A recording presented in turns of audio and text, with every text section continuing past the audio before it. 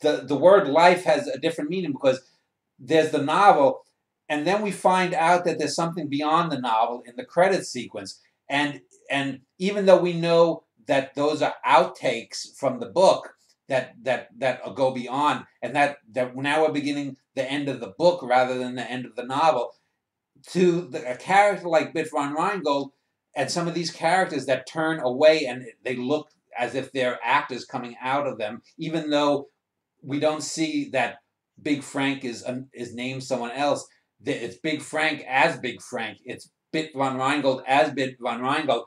But are they really in some other reality as well? And then came life. Is what comes after that word life the real life of a different kind of book? Is, for example, uh, when I was talking with this actress today, uh, Jackie O'Shaughnessy, uh, she was talking about the importance of being an actor and coming into a scene and out of a scene, if, even if you're only in for five seconds, that your character has to be coming from somewhere and going from somewhere. And I said that other actors have told me that it's important to know that even if you're a background character, that uh, you may be a background character in the film or the TV show that you appear in, but the minute you walk off screen, you have to believe that there's a camera following you as a character and you're the star of a totally different film that just happened to intersect the film that you're watching.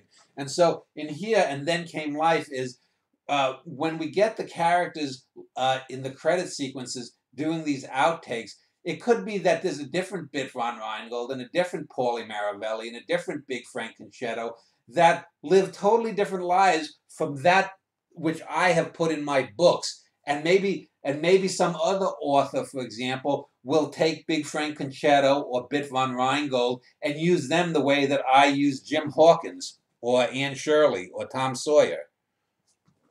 Yeah. Uh, it also it must be from Stardust Memories this idea eventually came uh, because of how there's the outer film to it.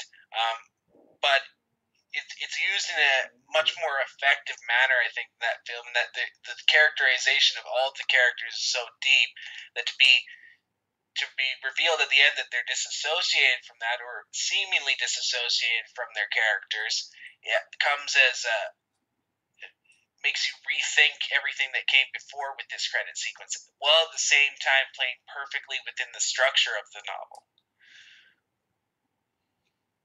Uh, did you have Did you have any thoughts about that? And was Stardust Memories also in the back of your mind throughout this last sequence? Actually, not because Stardust Memories. In I mean, while it's a great film, and I think it's you know arguably one of Woody's best, if not the best. Um, I was actually th- there have been other works where I was actually thinking more along the line of uh, some of the '60s films, uh, like uh, uh, what's his name, uh, Godard's Contempt, or some of Bergman's persona, where uh, you know you get you get, the artifice that we're watching a film at the end and then something's walking away. But I wanted to have I wanted to have the characters more even directly address it than just being seen, you know, doing outtakes. And of course, there's the modern co- co- convention of a lot of films that do in the credit sequences end with, you know, outtakes, and certainly DVD uh, versions of films where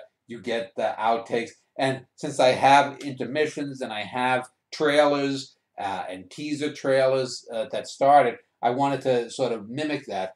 Um, and so the last, the last uh, scene that is seen is again uh, uh, the rowing thing here, and you know it ends with. Uh, the life raft started taking on water, and so we see that instead of rowing back as at the end of the novel, like coming to to an end, that Big Frank seems to be being aborted as his raft is sinking and, and he's sinking into the water. Uh, and you know, this is the symbolism of water is the feminine. Big Frank now is is hip deep in, in the water. He's stuck off the thing here, and you know, you know, uh, I I yelled cut. Several assistants tossed a life preserver to Big Frank, who held on to it and swam toward us, still laughing. As he got closer, he said to me, still laughing, Hey, Danny boy, is this really the end?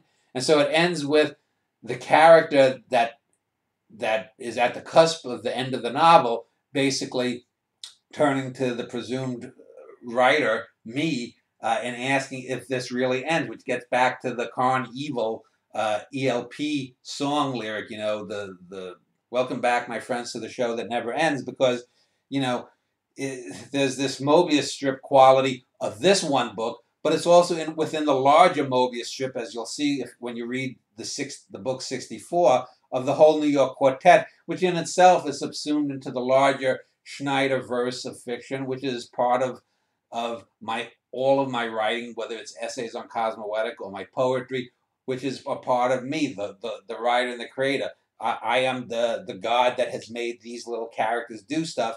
And so here you have Big Frank or a version. You have another level too, Dan, because of the public domain material that it's in the larger world of, of literature. Yeah. And uh, it, it works well to that too, where this book is connected to outer universes that have nothing to do with your universe. Yeah, I mean, there's there's like uh, the thing. Uh, I think there was a show called Saint Elsewhere in America in the '80s, where I, I saw a thing. There's a, a meme that goes around that all of American television is just a dream of this child that died on an episode of Saint Elsewhere because they're, they're interconnected characters, and he he somehow has dreamt of some of them or whatnot. So, in, in a certain sense, yes, but uh, in a certain sense, no, too, because obviously my Tom Sawyer is just a variation of the original Tom Sawyer. Even when I have pull him out and give him a little extra dimension that someone like Twain could never have thought of, uh, you know. But nonetheless, I, I know what you're saying there.